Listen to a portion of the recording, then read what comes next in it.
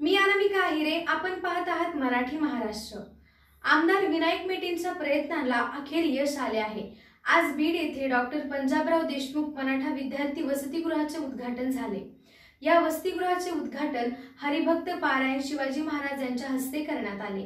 कार्यक्रमाच्या अध्यक्षस्थानी बोधले महाराज यांची उपस्थिती होती.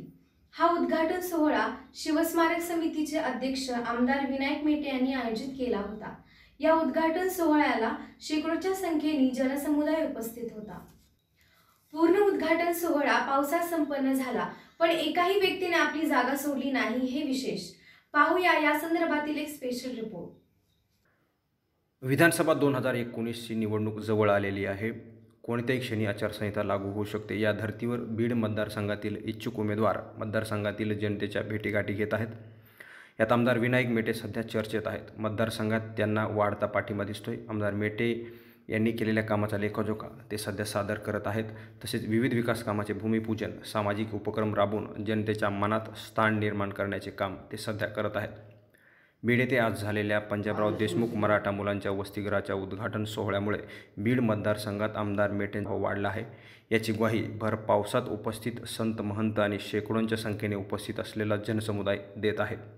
या कार्यक्रम प्रसंगी प्रमुख उपस्थिती महादेव महाराज साखरवाडीकर सामाजिक कार्यकर्त्या सुशीला मोराळे कुंदाताई काळे पत्रकार धनंजय गुंदेकर लोकपत्रकार भागवत तावरे यांच्यासह शिवसंग्रामचे सर्व पदाधिकारी उपस्थित होते. उपस्थितांना संबोधित करताना आमदार मेटे म्हणाले आजचा काळ आपल्यासोबत आहे आणि येणारा काळही आपलाच आहे असेल. कारण आपल्यासोबत राज्याचे मुख्यमंत्री आहेत निसर्गही आपल्यासोबत आहे. त्यामुळे कोणालाही घाबरायचे कारण नाही. शेवटपर्यंत अशीच साथ द्या. मी कुठेही कमी पडणार नाही. जसे मराठा विद्यार्थ्यांना वसतिगृह उपलब्ध करून दिले तसेच इतर समाजाच्या विद्यार्थ्यांना देखील अशीच सुविधा उपलब्ध करून देणार असल्याचे आमदार मेटे म्हणाले. त्यांच्याकरता त्या आणायच्या आणि तेच शेवटपर्यंत सगळ्या समाजाला सोबत घेऊन पुढची वाटचाल सुद्धा आपली तशीच राहणार आहे. मरेपर्यंत हे काम करत राहणार आहे. कुणी चांगलं म्हणो वाईट म्हणो काही म्हणो हा कार्यक्रम होऊ नये यासाठी अनेकांनी जेव्हा पाण्यात घातले होते पण त्यांना पाणीच भेटलं नाही.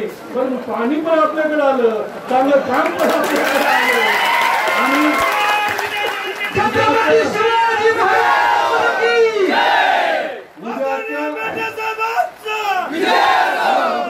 या ठिकाणी सगळ्यांच्या आशीर्वादानं उद्या या सगळ्या भागामध्ये सुद्धा चांगल्या पद्धतीचं परिवर्तन निश्चितपणे झाल्याशिवाय राहणार नाही. आता माझी एकच आहे. मराठा विकासाच्या करता ज्या पद्धतीनं शासनाला हे निर्णय घेतले तसेच निर्णय तुमच्या धनगर समाजाच्या बद्दल घेतले तुमच्या ब्राह्मण समाजाच्या बद्दल घेतले मुस्लिम समाजाच्या बद्दल घेतलेले अनेक वंचित समाजाच्या बद्दल निर्णय घेतले.